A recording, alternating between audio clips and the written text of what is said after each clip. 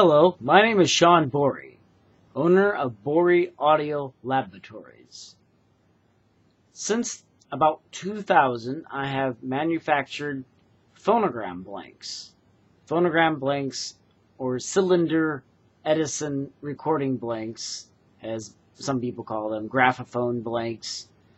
That is what I make. First, I will show you some original blanks for recording purposes. And this is one from about 1900, 18, between 1898 to about 1900. It's a brown wax composition. This is an Edison blank developed by Jonas Aylsworth. Jonas Aylsworth was Thomas Alva Edison's chemist. He was the person who developed the brown wax for Edison's recording blanks. I have been studying this subject since I was a very small child, since the 1980s, and and then started actually making the blanks in 2000.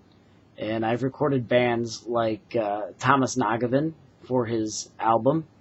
Uh, I've recorded Grateful Dead, Particle, Willie Nelson, Moe, and many others. Uh, Slick Rick, the Allman Brothers at Madison Square Garden, to name a, a few that I have recorded, and on cylinder record.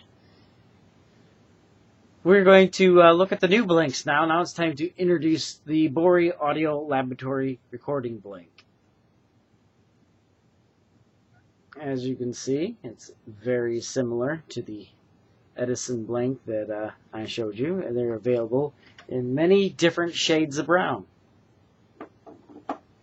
Here's a lighter blink, and as you can see, pretty much better. There's the spiral core.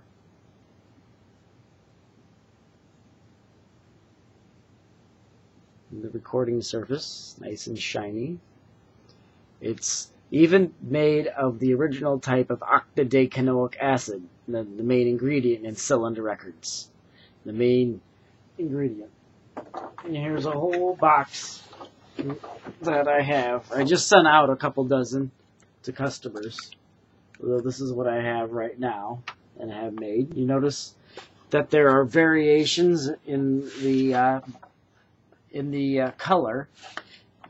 Each batch is weighed to within a hundredth of a gram. However, when you are making the batches of wax, uh, there is a little bit of oxidization that happens as the wax is cooked. The stuff is cooked very high, almost to the flash point of the wax. It's a very dangerous process, a very long, laborious, involved process where you make the wax one day, you have to let it solidify, reheat it, cast your blanks, they have to season for about 30 days, and then they are shaved and can be packaged and sent out. The blanks actually sound the best after about sitting around for a year. They have a really superior tone quality after about that time.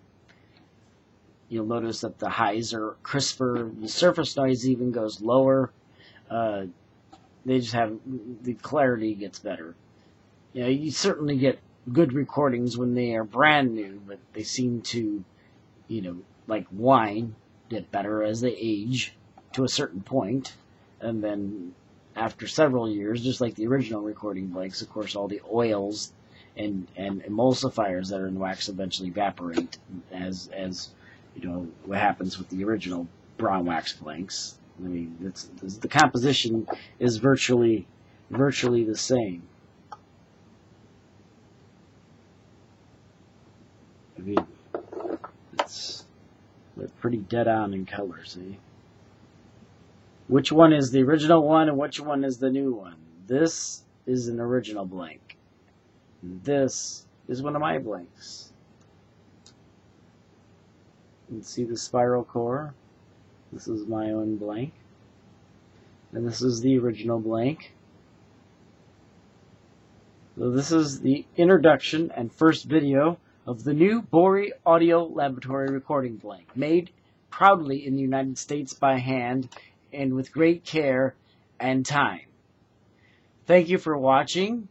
To uh, find me on the net, just Google Borri Audio Laboratories. That's B O R R I Audio Laboratories. Just Google it and you will find my website. All my contact information is on there. You can email me. You know, you can contact me directly here on YouTube. Or you can email Borri Audio Laboratories at gmail.com. Thank you for watching. And have a great evening or morning, whatever it may be.